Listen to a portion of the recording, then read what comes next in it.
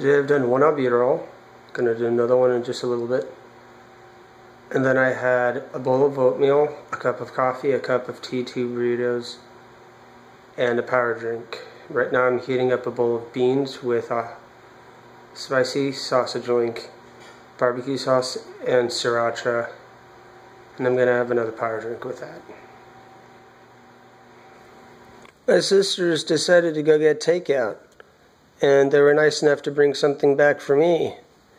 I think it's a um, tri-tip sub, or at least a tri-tip uh, sandwich with mushrooms and onions and some cheese. So it looks really good. Came with some fries. They got me some chocolate milk to have with it, and uh, some other dipping sauce I'm going to be using. It looks like soy sauce. So it all looks really good together. They could play. they could play on any team in the, in the county, but, uh, but we play them and we just kind of put up with them. But mostly we're just old old guys who some of us can't quite get down to the ground. Uh-huh. So when the ball goes by, uh, it's a problem, you know. And and running the first, some of the guys can't get the first. So if, if the, one of the rules is if the ball hits the outfield, hits the ground, then you're safe at first. Oh. So that people that can hobble can get first, and then you can switch first. out 1st uh-huh. Hey. Excuse me. Hey. I usually try to get footage from practice that I go to, musical practices, and I forgot to this evening. I went to the Hydesville Community uh, Choir. Hydesville Community Choir.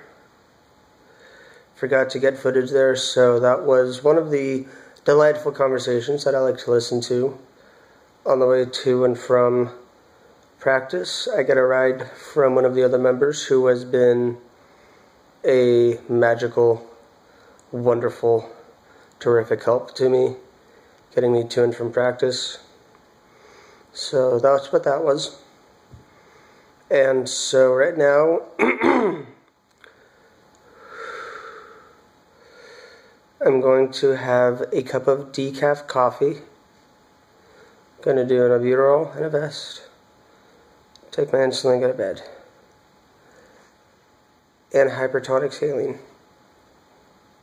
Gonna do that. Just forgot to mention it. So, so working on breathing in and out. It's been getting easier. That doesn't mean it's easy. When you start in a ditch, you climb up a bit and you're doing better. You're still in a ditch. So, so this is what I'm working on. In case you haven't noticed.